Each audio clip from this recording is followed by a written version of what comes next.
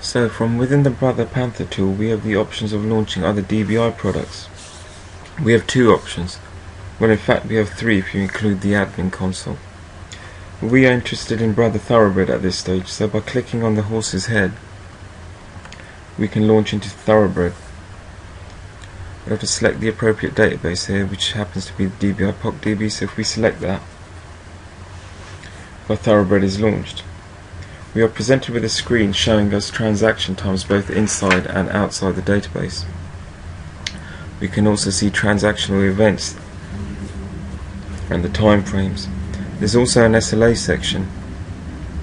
The SLA section is a breakdown of transactions into their execution times. So if we click on that, this pie chart shows a breakdown of all the execution times and whether they fall within SLA levels which are stated we leave this page or defined within this section here. So you can define your SLAs and you can also then look at whether the, we are meeting our SLAs and what percentage of the SLAs are being met. But interestingly from our perspective what we want to look at here is the pie chart over it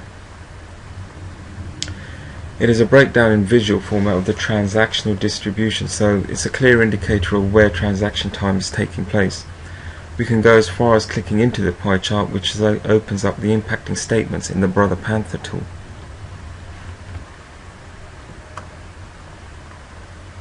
So, as you can see, we uh, minimize this, we can clearly see that the impacting statements opened up from within the pie chart are these that are presented in front of us. And interestingly, there's a flag statement here which seems to be the one that we looked at in our earlier demo of Brother Panther. We looked that up. Yes, that is the one with a 99% improvement and one recommended index. But we're not going to cover old ground here. What we'll look at at this stage are performance trends and how we can uh, measure trends and present trends to the uh, the clients in a readable kind of fashion. So by right clicking on the, this particular statement we can move on to viewing performance trends. Here we're presented with a screen where we can make some selections. So we want to look at the time, the CPU time over a period. Uh, it's going to be in the format of a line graph. So what we'll change here is the, the start time. So I want to track back to uh, say June. Select that. If we just OK here, we're presented with a screen which shows the CPU time over a period of a few months. So as you can see the CPU time it, it, it's going upwards, it's going down, it, it changes as the workloads are changing. Another interesting point here to note is this change here.